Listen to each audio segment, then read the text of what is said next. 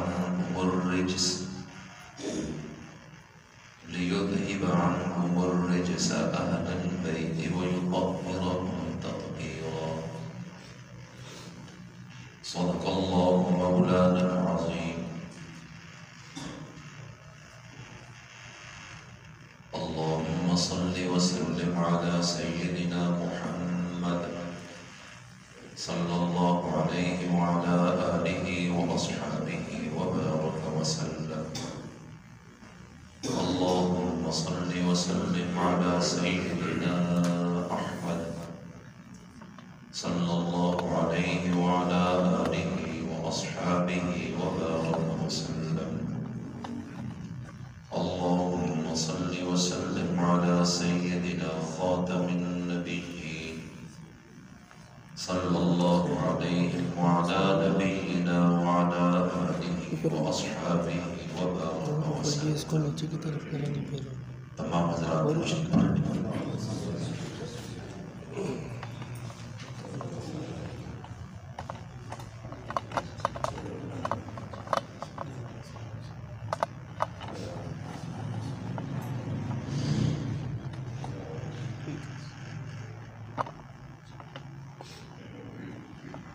इंतहाई काबिल एहतराम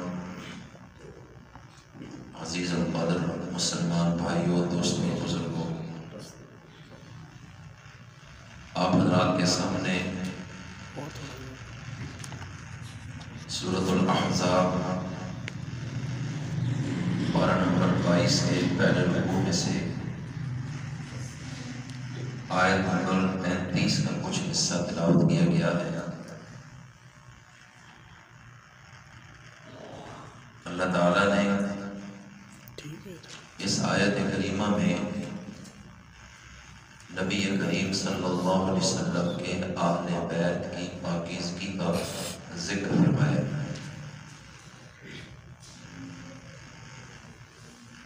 अहले बैत, अल्लाह ताला ये इरादा रखता है, अल्लाह इरादा करता है।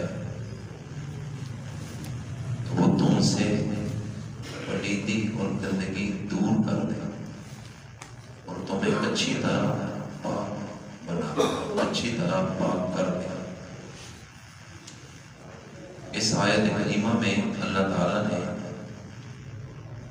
बरह रास्त नबी करीम सल्लल्लाहु अलैहि वसल्लम की अजवाज मुतहरा की फजीलत बयान फरमाई कि वो नेक पाकबाज खवातीन हैं और उन्हीं के मुतालिक अल्लाह ताला ने इसी सूरत में फरमाया लस्तुन का अहद मिनन निसा पारा नंबर 22 की दूसरी आयत में या निसाहन नबी की औरतों, यानी बीवियों। दूसरी औरतों की तरह तुम नहीं हो। यानी तुम्हारा दर्जा अल्लाह ताला ने सबसे ज़्यादा फायद और बाला बनाया है। तुम्हारा रुतबा और फजीलत सबसे ज़्यादा है। और इस आयत करीमा में आहले बैत का लफ्ज है। इसका तर्जमा हम करते हैं घर वाले आहले बैत बैत अरबी में घर को कहते हैं।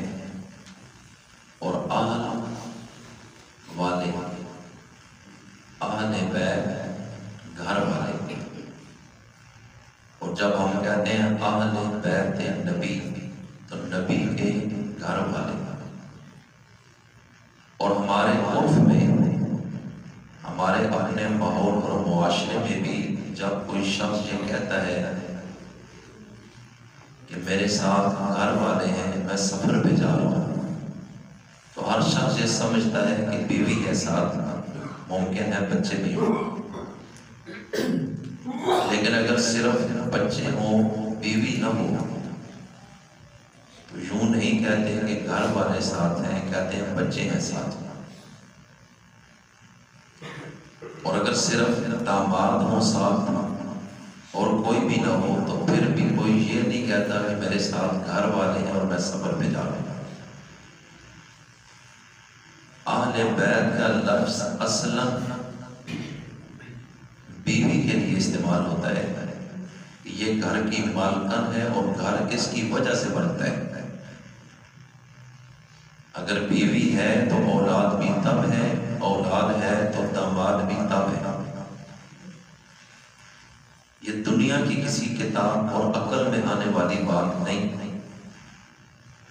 कि आप ये कहें कि अहले बैत से मुराद बेटियाँ और दामाद तो हैं, लेकिन बीवियाँ नहीं हैं। कुरान करीम सख्ती के साथ इस चीज़ की नफी करते है अल्लाह ताला ने कुरान करीम में बाकायदा तौर पर दूसरे मकामात पर इस चीज़ को बयान फरमाया कि जिस वक्त अल्लाह ताला ने अपने फरिश्ते इंसानी में अपने खलील इब्राहिम अलैहिस्सलाम के घर भेजे। और उन्होंने आकर मुलाकात की और हज़रत इब्राहिम अलैहिस्सलाम उनको इंसान समझे। उन्होंने फ़ौरन गाय का बछड़ा सिबा किया और उसको भून उनके आगे रखा कि मेहमान है। लेकिन फरिश्ता खाता पीता नहीं है। अगर हज़रत इब्राहिम अलैहिस्सलाम को इल्म होता कि ये फरिश्ते हैं तो वो ये तकल्लुफ ना करते। उन्होंने उनको इंसान देखा और इंसान ही समझा। ये इंसानी शक्ल शबात में आए हैं और उन्होंने उनको इंसान ही समझा। इसलिए उन्होंने बछड़ा जिबा किया और भून कर उनके आगे रखा कि इसको खाओ बारह नंबर 26 के बिल्कुल आखिरी चंद सत्रों में अल्लाह ताला ने इस वाक़े को भी बयान फरमाया।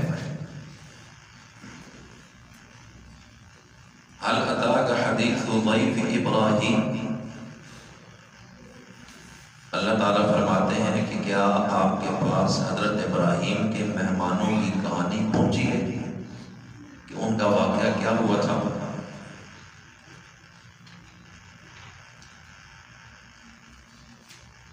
अल मुकरमी जो बड़े इज़्ज़त वाले मेहमान थे।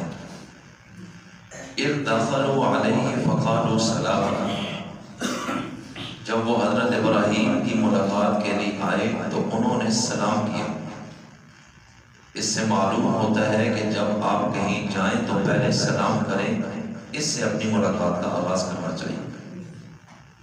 आजकल अंग्रेज़ी के वर्ड यूज़ किए जाते हैं, अल्फाज इस्तेमाल किए जाते हैं और ये सुन्नत खत्म हो गई। कौन सलाम। जब फरिश्तों ने सलाम किया तो हज़रत इब्राहिम ने भी जवाब में, वालेकुम सलाम बुलवाया। कौम का और हज़रत इब्राहिम इन्हें जानते नहीं थे, ये अजनबी लोग थे।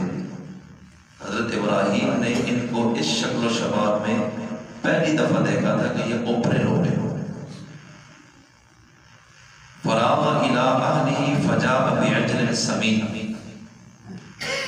तो उनके जो जानवर थे, उसमें जो मोटा, ताज़ा, बछड़ा था, गाय का बच्चा, उन्होंने फ़ौरन उसको जिबा किया और उसको भूना, उसकी सज्जी बनाकर उनके आगे दी कि आप खाएँ। फकर रहो और जब उनके आगे पेश किया कि आप ये खाएँ और वो खा तो नहीं रहे। इसलिए कि वो तो इंसान नहीं, वो तो फरिश्ते थे। और फरिश्ता तो खाता पीता नहीं है। अगर हज़रत इब्राहिम दिल की बात जानते होते तो कभी भी माली नुकसान ना करते और बछड़ा जिबा ना करते कि ये तो खाते ही नहीं मुझे क्या ज़रूरत है इतना तकल्लुफ करने का? लेकिन हज़रत इब्राहिम चूँकि दिल का हाल नहीं जानते, जब तक अल्लाह ताला गैब बात और खबर जानते कि इतना करीब चंद किलोमीटर के फासले पे मेरा बेटा यूसुफ कुएँ में है। मुझे रोने की क्या ज़रूरत है? शेख सादी रहमतुल्लाह ने फरमाते हैं, पैगंबरों के इल्म की मिसाल ऐसे है, जिस तरह आसमान से बिजली चमकी, अंधेरी रात में, और उस रोशनी में मशरक और मगरब के किनारे नज़र आ जाते हैं। वो चमक ना लगे तो इतना अंधेरा है कि इंसान को करीब से अपना हाथ भी नज़र नहीं आता।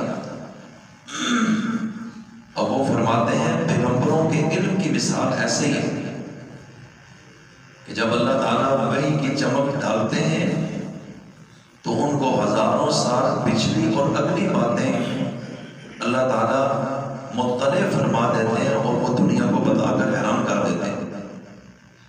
लेकिन अगर वही की चमक अल्लाह ना डाले तो पैगंबर को ये मालूम नहीं होता कि मेरे बेटे मेरे सामने झूठ बोल रहे हैं उसको भेड़िया खा गया जबकि करीब ही कुएँ में मौजूद है तो मैं जाकर उसको निकाल लेता हूँ।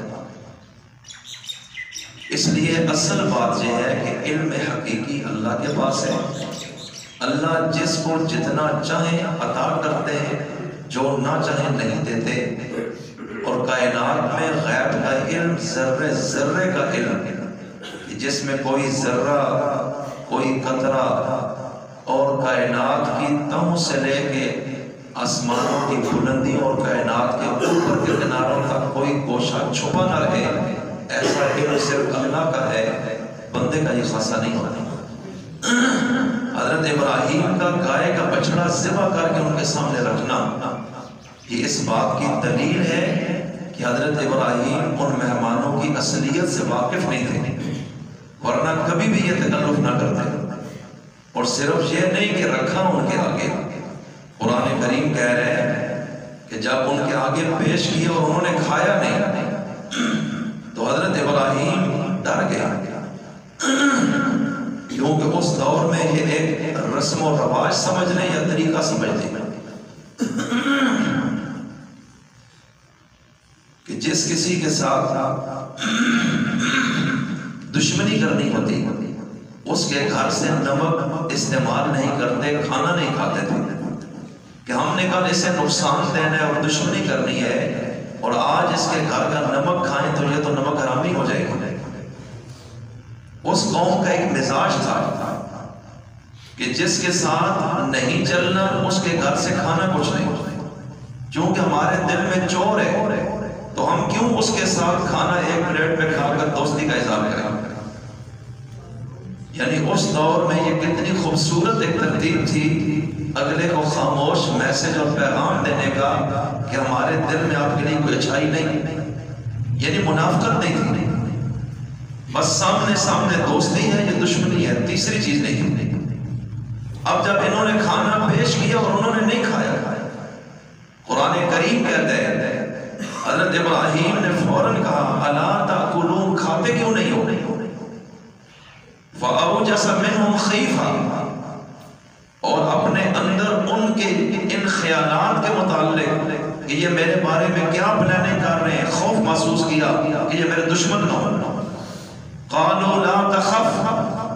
और फरिश्ते भाग के कि हज़रत इब्राहिम डर गए हैं, इनके दिल में हमारे बारे में ये बात है कि हम इसको नुकसान देना चाहते हैं। उन्होंने फ़ौरन कहा, ला तखफ। कि ऐ इब्राहिम, डरो नहीं। हम आपके दुश्मन नहीं हैं। तो फिर आप क्यों आए? कि खाना भी नहीं खा